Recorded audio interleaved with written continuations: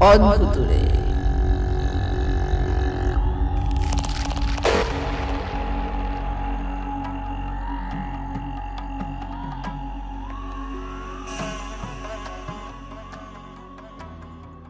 অদ্ভুতুরের উদ্দেশ্য কেবলমাত্র বিনোদন, কোনো কুসংস্কার প্রচার নয়।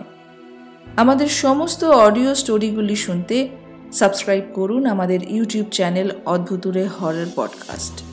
Subscribe করে বেল আইকনটি অবশ্যই প্রেস করবেন। আর আমরা এখন এসে গেছি টেলিগ্রামে। অ্যাপ স্টোর থেকে টেলিগ্রাম অ্যাপ্লিকেশনটি মোবাইলে ইনস্টল করে সার্চ করুন অদ্ভুতুরে হরর পডকাস্ট আর সরাসরি যুক্ত হয়ে যান আমাদের সাথে।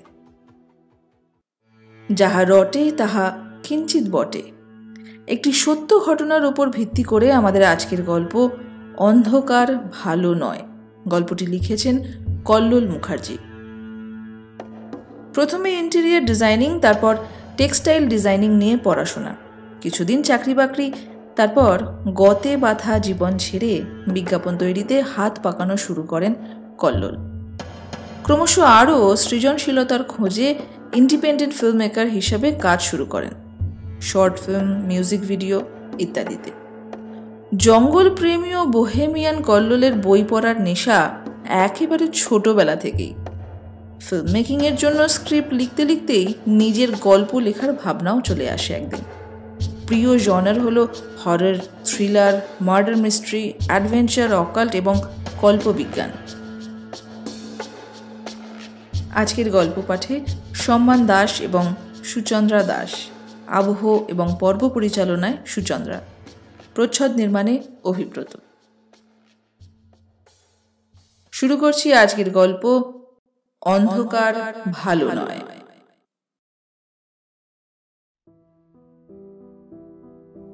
একমাত্র রাহুলই বেশ কিছু মাস ধরে নিশার বয়ফ্রেন্ডের পোস্ট ধরে রাখতে পেরেছে। আসলে নিশা প্রচণ্ড মুডি ওর মুড বুঝে চলা খুব শক্ত। তবে রাহুলের সহনশীলতার পরিমাণ খুব বেশি মাত্রায় হওয়ায় ব্যাপারটা ম্যানেজ হয়ে গেছে। এর মধ্যে কয়েকবার রাহুলদের ফ্ল্যাটে এসেছে নিশা। রাহুলের বাবা মায়ের সঙ্গেও পরিচয় হয়েছে। যদিও নিশা নিজেও এখনও জানে না যে এই রিলেশনটাও সে কন্টিনিউ করবে কিনা। তবে পরের কথা পরে। আপাতত রাহুলকে তার ভালোই লাগছে। যদিও রাহুল সুযোগ পেলেই ঘনিষ্ঠ হওয়ার চেষ্টা করে, তবে নিশার সেটা যে খুব খারাপ লাগে তা বলা যায় না। তার মতে এই বয়সের একটা সুস্থ, সবল ছেলে, তার মতো একটা অ্যাট্রাকটিভ সেক্সি মেয়েকে কাছে পেলে উত্তেজিত হবে। এটাই তো স্বাভাবিক। না হলেই বরং বুঝতে হতো, রাহুলের কোনো সমস্যা আছে। আজ দুপুরে কোনো কাজ না থাকায় লাঞ্চ করে নিজের বেডরুমে একটু গড়াচ্ছিল নিশা। হঠাৎ করেই রাহুলের ফোন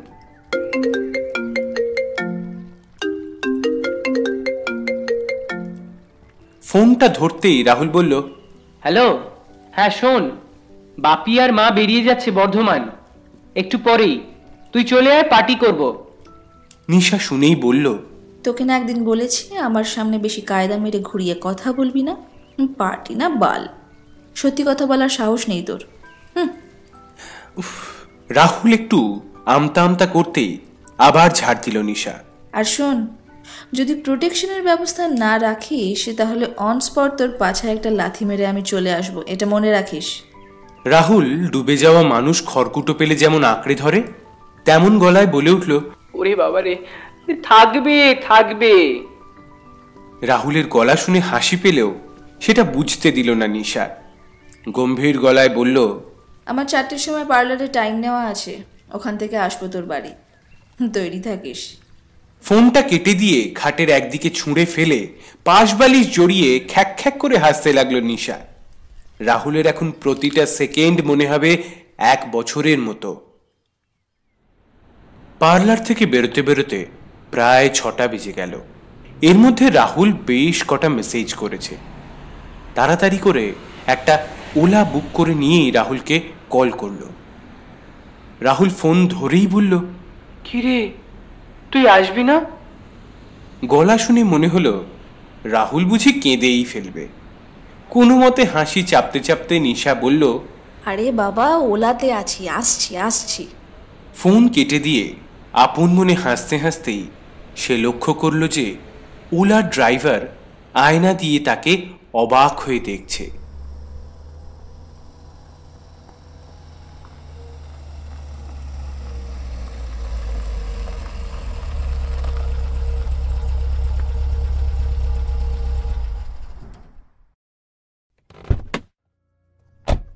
রাহুলদের ফ্ল্যাটে যখন নিশা ঢুকতে যাবে তখনই করিডোরে বাচ্চা মেয়েটাকে দেখেছিল নিশা।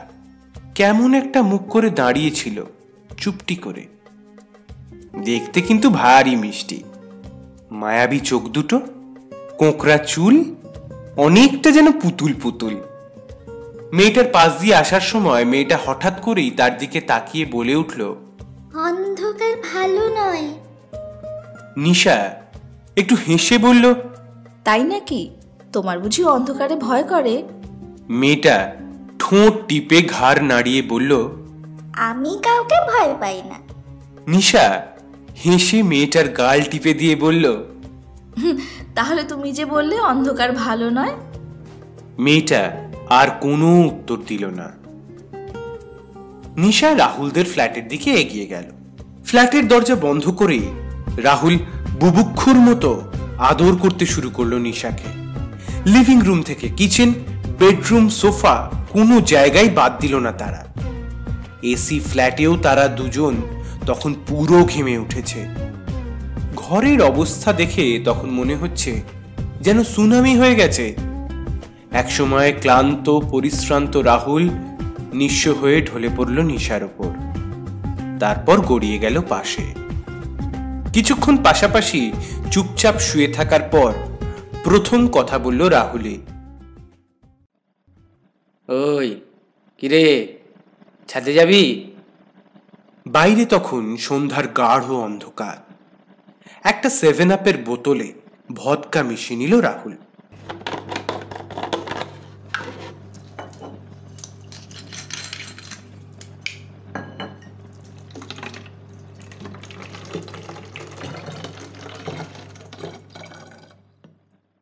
তারপর ফ্ল্যাটের চাবিটা পকেটে পুড়িয়ে দরজা টেনে দিয়ে নিশার কাঁধে হাত রেখে ছাদের সিঁড়ির দিকে পা বাড়ালো।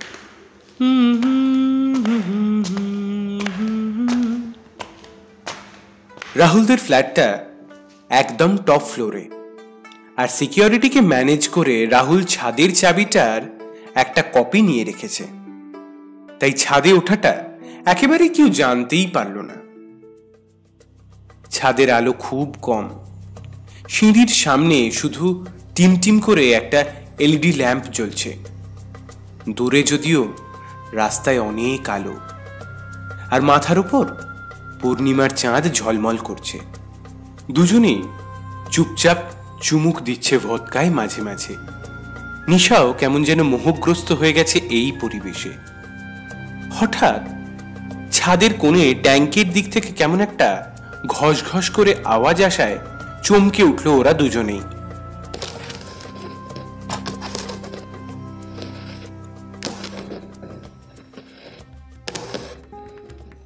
রাহুল বলে উঠল কি হলো? কিসের আওয়াজ? নিশা চোখ কুঁচকে দেখতে দেখতে বলল চোর নির্ঘাত। রাহুল হেসে ফেলে বলল তোর মাথাটা কি খারাপ হয়ে গেছে নিশা? বারো তলার ছাদে চোর! তুই তো বলিউডের স্ক্রিপ্ট রাইটারদেরও হার মানিয়ে দিবি দেখছি কল্পনায়। দাঁড়া আমি একবার দেখে আসি। বলে বোতলটা নিশার হাতে ধরিয়ে দিয়ে এগোতে যাবে সেই সময় নিশা ওর হাতটা ধরে বলল কি দরকার রাহুল? সিকিউরিটি গার্ডকে ডাক বরং। রাহুল ওর কাঁধ চাপড়ে হাতটা ছাড়িয়ে এগিয়ে গেল অন্ধকার কোণটার দিকে। ধীরে ধীরে রাহুলের শরীরটা ক্রমশ আবছা হয়ে মিশে গেল অন্ধকারে। অস্বস্তিটা কাটাতেই বোতলটা খুলে একটা লম্বা সিপ মারল নিশা।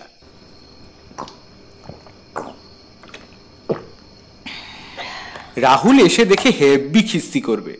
আবার নিচে যেতে হবে মাল আনতে। ভদকাটা গলা দিয়ে নামতেই যেন নার্ভাসনেসটা অনেকটা কেটে গেল তার।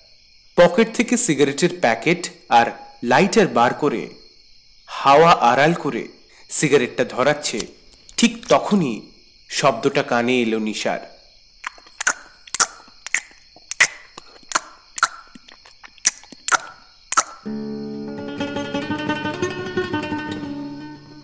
চপচপ করে একটা শব্দ, যেন কেউ রেলিশ করে কিছু খাচ্ছে।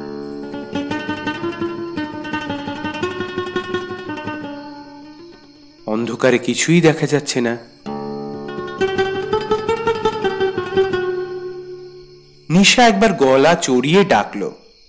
রাহুল রাহুল? কিন্তু কোনো সাড়া এলো না। হঠাৎ করেই নিশার মনে হলো রাহুল মজা করে তাকে ভয় দেখাচ্ছে। দাঁড়াও রাহুল চন্দ্র তোমায় মজা দেখাচ্ছি। আস্তে আস্তে পা টিপে ট্যাঙ্কের কোণের দিকে এগিয়ে চলল নিশা। চপচপ করে আওয়াজটা তখনও চলছে।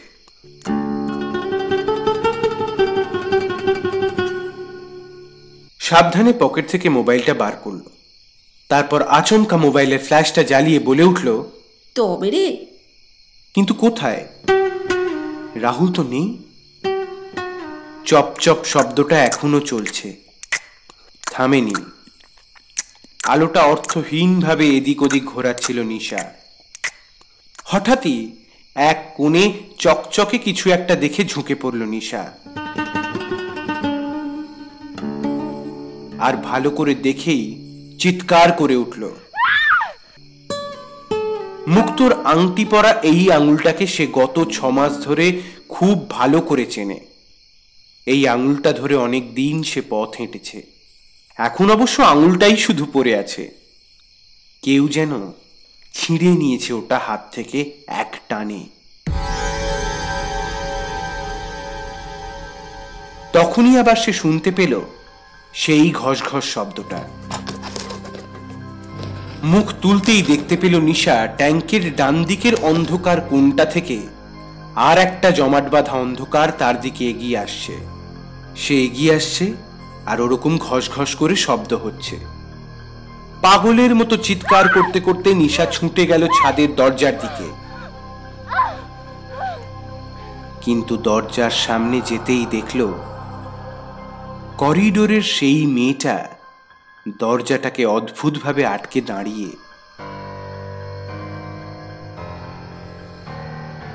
মেয়েটা নিশার দিকে তাকিয়ে এক অদ্ভুত হাসি মুখে নিয়ে বলল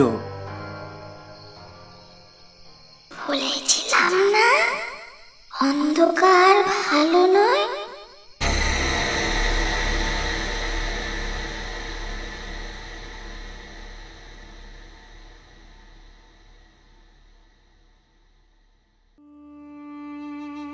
এর পরে কি হলো বলুন তো? নিশা কি আদৌ প্রাণ বাঁচিয়ে পালাতে পারল? আর ওই বাচ্চা মেয়েটি বা আসলে কে? এগুলির কোনো উত্তর নেই, কারণ নিশাকে আর খুঁজে পাওয়া যায়নি। উপরন্তু আরও বেশ কয়েকটি মানুষ উধাও হয়ে গিয়েছিল। রয়ে গিয়েছিল শুধু একটা করে আঙুল। তাই বলছি, অন্ধকার কিন্তু একদম ভালো নয়।